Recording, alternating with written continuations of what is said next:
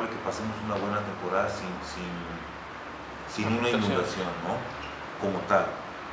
Eh, las zonas se van a encharcar, eso va a seguir sucediendo. Boulevard García de León, Boulevard Puente, Carlos Salazar, Tres Puentes, Camelinas, se van a seguir encharcando. La gente por cuestiones personales o por lo que quieran les llaman eh, inundaciones. Una inundación es cuando, no lo digo yo, eh, lo dice la UNESCO, es una definición internacional cuando te rompen los servicios por más de 24 horas. Y solo en la contingencia de marzo los tuvimos interrumpidos 24 horas. Todas las demás contingencias que hemos tenido hemos rescatado la ciudad en una, en dos o en tres horas. Y eso a mí se me hace así muy, muy importante marcarlo,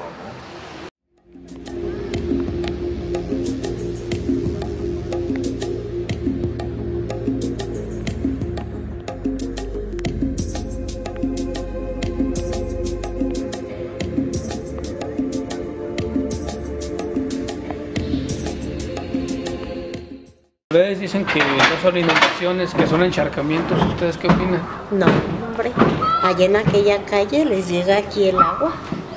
Yo digo que sí son inundaciones. No.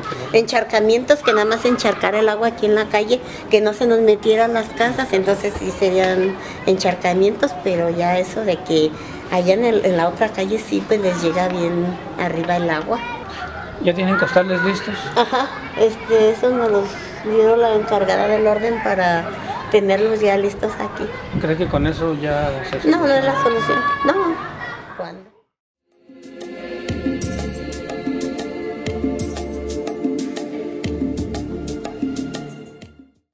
Sale el agua de los drenajes, no es tanto la zanja como los drenajes. ¿No les da miedo? Sí nos da miedo, No lo aguantamos. pero nos aguantamos.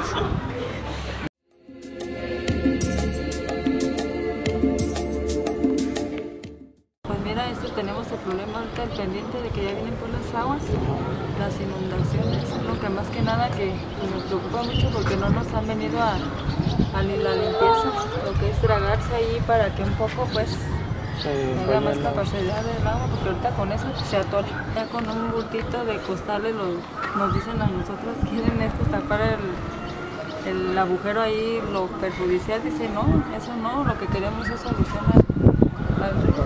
A veces las autoridades dicen que no son inundaciones, que son encharcamientos. ¿Les ha escuchado que dicen eso? Sí, lo, ¿Qué piensa usted? lo que pasa que este pues es una inundación muy fuerte porque estamos a la orilla del río. El río se llena totalmente de agua, por eso sale el agua para acá.